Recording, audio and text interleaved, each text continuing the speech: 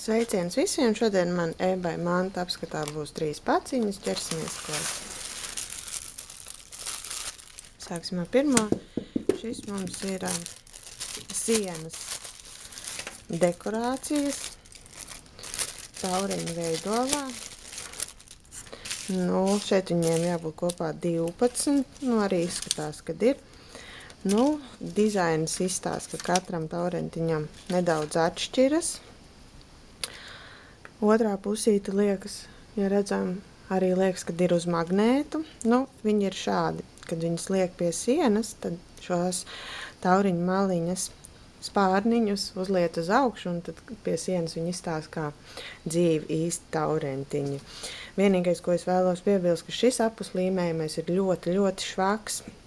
Man ir šādā zilā krāsā vēl taurentiņi, un ar šo apus līmējumu viņas nu, pielipināja pie sienas, viņi vienkārši krit nostā, kā ja ideāli, ja ir mājās.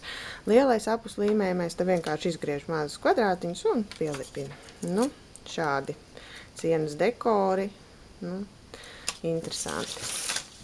Nākamais mums ir, ā, šie mums ir zeķu pāri ar interesantu dizainu.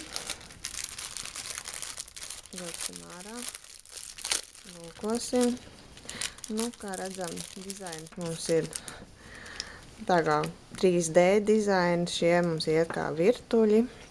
Nu, tāds, tāds interesants un tāpat arī mums šeit ir tīģeru formātā zeķītes. Nu, šeit mums viss ir ķīniski. Uh, Bet nu, apstīsimies otrajam rauku. Otrajam mums ir 80% koku vilna, un tad pārējie tie elastāni, kas tur ir zeķītēs. Nu, zeķītes staips, patīkams uz stausti. Nu, interesantas, kaut kas nebijis. Nākamā paciņa. Ā, mums ir cimdi. Nu, cimdi šie ir nu, nekādi. Viņi ir paredzēti telefonā, telefona lietošanai, lai kā nu, nav jānovelk cimds, nu, tad, tad ar šiem pirkstiem droši var darboties, bet nu, kvalitāte viņiem izstāsta nekādi ļoti plāni, tas ir pirmais. Nu, un otrais, tas, kad, kad izskatās Nu, nu nekādi. Nu, te kaut kas arī rauku. Nu, neiesaku šādu pirkt, nu, lai gan viņi tur bija 70 vai 80 centi.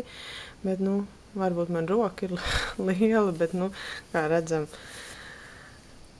štrunci vien ir ar šiem cimdiem, tā kā neiesaku tādus iegādāties, bet, nu, viss pārējās manas bija labas, nu, šodienas video mums bija interesanti zeķu dizaini un sienas dekorācijas taureņu veidolā. Paldies, ka skatījāties, līdz nākamajai reizei, atā!